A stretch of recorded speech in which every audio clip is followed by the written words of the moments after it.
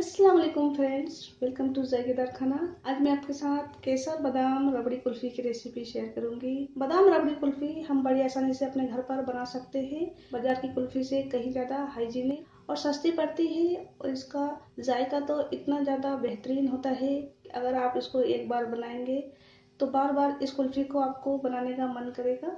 रबड़ी कुल्फी बनाने के लिए मैंने एक लीटर फुल क्रीम मिल्क लिया है। कुल्फी बनाने के लिए दूध हमेशा फुल क्रीम लेना है। गैस ऑन करके दूध को मैंने उबलने के लिए रख दिया है।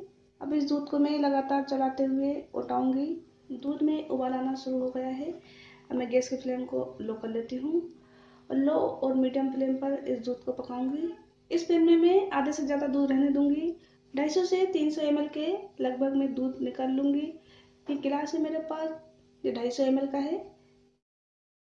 इस गिलास में मैं ये उबला हुआ दूध निकाल लेती हूँ। इस दूध को मैं बाद में कुल्फी में डालूँगी। एक गिलास दूध मैंने निकाल लिया है, इसको मैं साइड में रख दूँगी।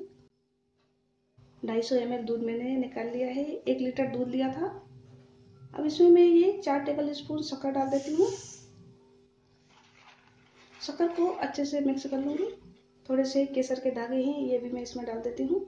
दो टेबल स्पून कटे हुए बादाम है, ये डाल दूँगी। इन सबको भी अच्छे से मिक्स कर लूँगी। तीन हरी इलायची इनको मैंने पीस लिया है, ये डाल देती हूँ। अगर इलायची पाउडर है तो एक चौथाई चम्मच इलायची पाउडर डाल दें। अब लो और मीडियम फ्लेम पर इस दूध को मैं लगातार चलाते हुए पकाते रहूँगी। उसके साइड में जो मलाई इकट्ठी होगी, वो भी मैं निकाल निकाल कर इस दूध में मिलाते जाऊँगी जब दूध पक पक कर आधे से भी कम रह जाएगा, जब तक मैं इसको पकाऊँगी। देखिए दूध ओट ओट कर आधे से भी कम बचा है। एक रबड़ी तैयार हो गई है। इसलिए इस कुल्फ़ी का नाम रबड़ी कुल्फ़ी है। अभी मैं इसको थोड़ी देर और पका लेती हूँ। थोड़ा सा और उठाऊँगी इसको तब तक रबड़ी थोड़ी और गाढ़ी नहीं हो जाती। केसर डालने से इस रबड़ी का कलर पीला हो गया है। देखिए कितना अच्छा कलर आया है। देखिए, दानेदार रबड़ी बन चुकी है।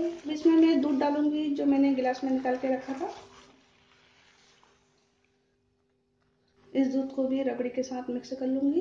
गैस की फ्लेम को मैं हाई कर दूँगी और इस दूध में उबाल आने देती हूँ। दूध में उबाल आ चुका है।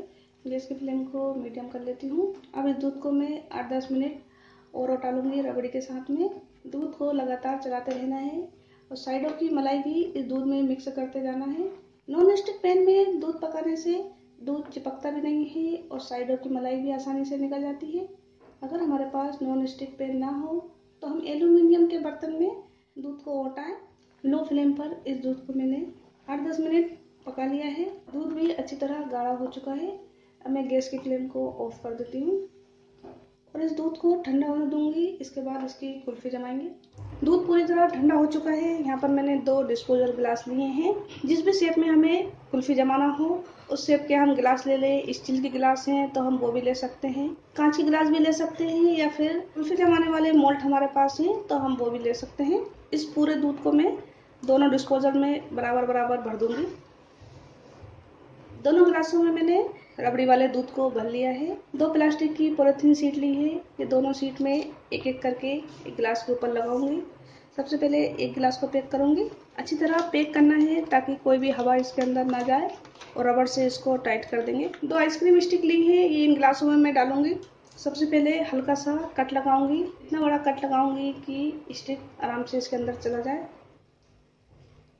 ये स्टिक में इसके अंदर डाल देती हूँ